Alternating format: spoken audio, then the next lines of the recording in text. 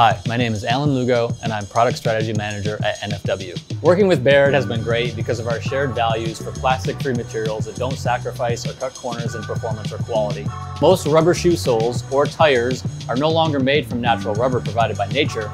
They're made of petrochemical-based synthetic rubber, essentially plastic.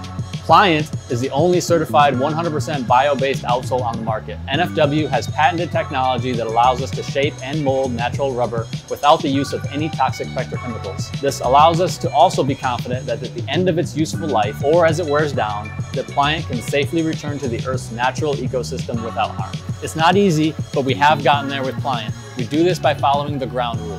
First, we start well, starting with plants instead of fossil fuels, and we source them responsibly through NFW supply chain partners. Next, we make sure that we stay clean. We transform nutrients into diverse performance materials at scale with NFW technology and supply chain integration. We create beautiful and durable products without plastics, just natural inputs. And finally, we always make sure to end well, which means we enable old products to return to Earth instead of becoming plastic waste. Wearing these shoes has a significant impact.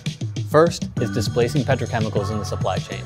Second, it's ensuring that when your soles wear down over time, that you are not shedding harmful microplastics into the environment. We can make a choice to show that we care about what the products we buy, wear, or consume are made of.